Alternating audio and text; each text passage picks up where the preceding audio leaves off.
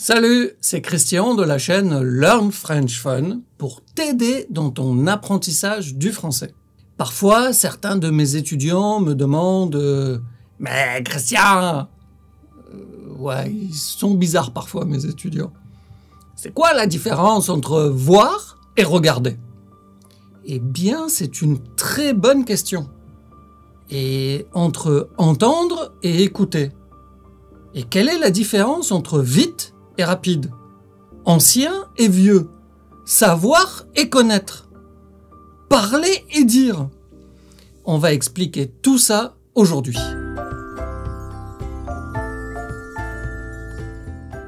Avant de commencer, eh bien, je t'invite tout de suite à t'abonner à la chaîne parce que j'ai constaté que presque 70% des gens qui regardent les vidéos ne sont pas abonnés.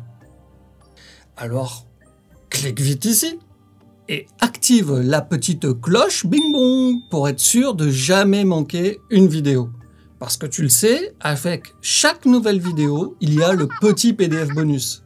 Mais oui, tu sais, le petit PDF bonus que tu peux télécharger gratuitement avec la synthèse de la vidéo, des phrases d'exercice et la correction. Comme ça, bah, tu peux t'entraîner.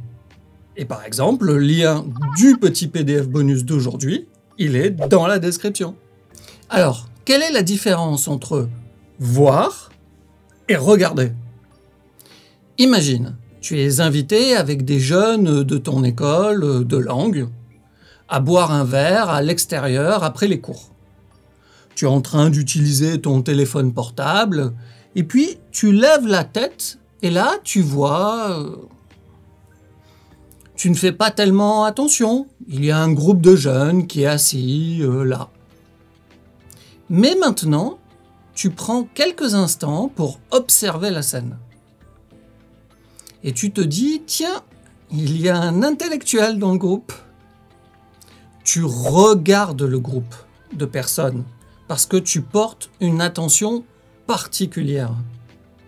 Tu vas donc utiliser voir pour simplement remarquer quelque chose avec tes yeux. Tes yeux sont ouverts, tu vois. Mais tu vas utiliser regarder quand tu vas faire attention de manière active, quand tu vas avoir la volonté de voir. Et d'après toi, quelle est la différence entre entendre et écouter? Eh bien, c'est la même chose il y a également la notion de volonté. Entendre, c'est simplement les sons, les bruits, euh, la musique qui entrent dans tes oreilles. Mais tu n'as pas de démarche active.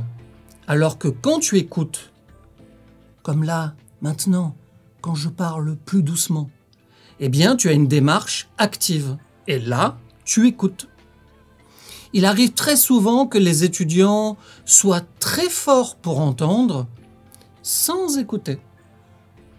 Le professeur parle, parle, et puis ça fait une sorte de musique qui aide gentiment à faire euh, la sieste. Et puis le jour où l'examen oral de français arrive, ah, là c'est la panique. Mais ne t'inquiète pas, j'ai préparé un cours spécial pour t'aider à réussir ton examen oral de français. Tout ce que tu dois savoir et des exemples concrets que tu pourras utiliser le jour de ton examen oral.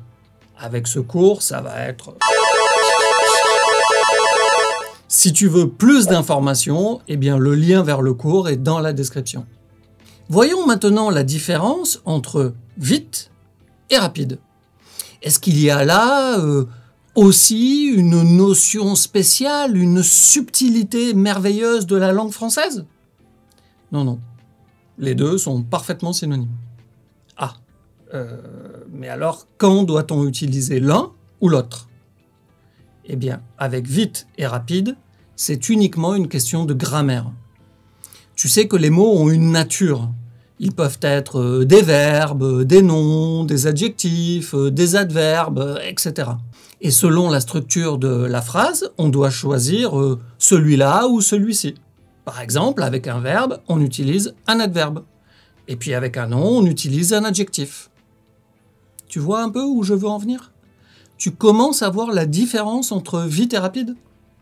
Rapide, c'est un adjectif, alors que vite, c'est un adverbe. Par exemple, dans cette phrase, je dois utiliser vite ou rapide? La voiture roule. Roule, c'est un verbe. Je veux donner une information supplémentaire sur le verbe rouler.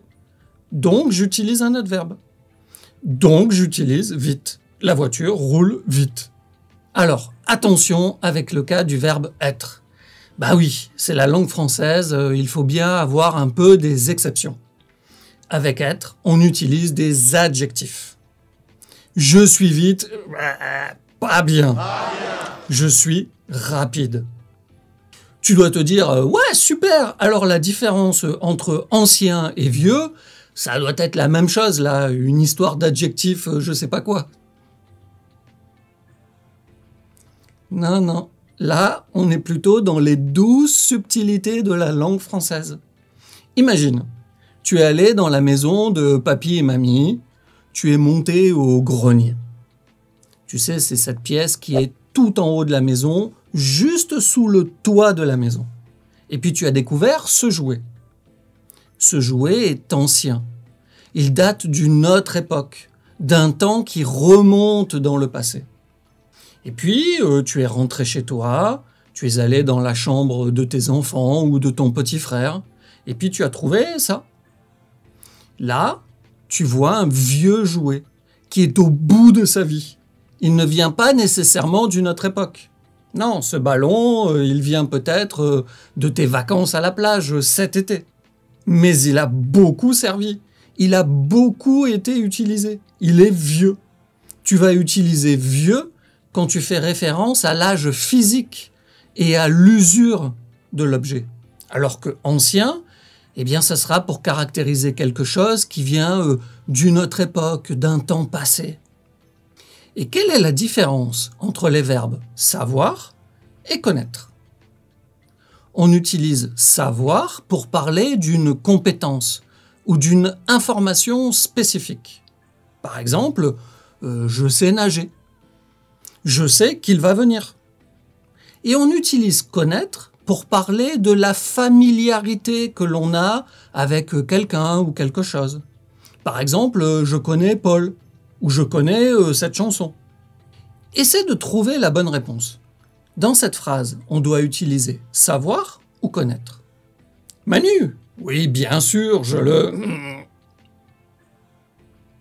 Ok, c'était facile, je le connais. Et dans cette phrase, savoir ou connaître? Manu vient ce soir à la fête. Oui, je le... Je le sais.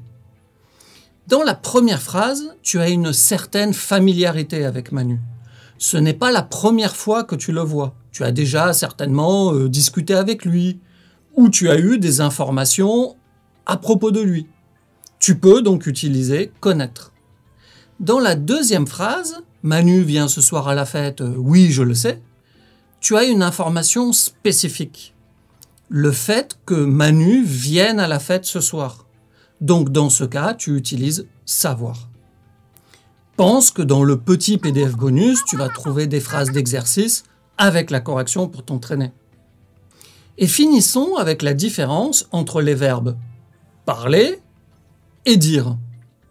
Parler, on l'utilise généralement pour désigner l'action de communiquer oralement, c'est-à-dire l'acte de s'exprimer en utilisant des mots. On l'emploie souvent pour indiquer qu'une personne s'exprime dans une certaine langue ou sur un sujet particulier. Par exemple, avec une langue. Elle parle français euh, couramment. Ou alors un exemple avec un sujet, un thème. Euh, nous parlons de nos projets pour l'été. Le verbe dire, lui, on l'utilise plutôt pour exprimer le fait de transmettre un message ou une information spécifique, que ce soit à voix haute, que ce soit en pensée ou même par écrit. Dire va mettre l'accent sur le contenu du message plutôt que sur l'acte de communication. C'est le contenu qui est important. Par exemple, elle m'a dit qu'elle viendrait à la fête demain. Ce qui est important dans cette phrase, ce n'est pas qu'avec sa bouche, elle est fait euh, je vais venir à la fête demain. Non, c'est pas ça qui est important. Ce qui est important, c'est l'information qui a été transmise. Pour simplifier, si tu veux indiquer que quelqu'un est en train d'exprimer quelque chose, mais sans préciser le contenu, qui n'est pas la chose importante, bah, tu peux utiliser parler. Par exemple, il parle au téléphone. Qu'est-ce qu'il dit? Est-ce que c'est important? Triste Ennuyant Aucune idée. Mais si tu veux mentionner ce que quelqu'un a exprimé précisément, alors tu vas utiliser dire. Par exemple, il m'a dit qu'il était euh, en retard. Là, ce qui est important, c'est l'information, le contenu. Alors on utilise dire. J'espère que la différence entre tous ces mots est un petit peu plus claire pour toi. Et puis si tu as aimé la vidéo, eh bien dis-le moi dans les commentaires. Ça me fait toujours super plaisir de lire tes messages. Et puis n'oublie pas de mettre un like. Et si tu ne l'as pas encore vu, eh bien je te recommande cette vidéo. 10 erreurs que tu ne feras plus jamais. Parce que oui, il y a certaines erreurs que les étudiants étrangers qui apprennent le français font très souvent. Même les étudiants avec un bon niveau. Et dans cette vidéo, je t'explique tout pour ne plus faire ces erreurs. Ciao, ciao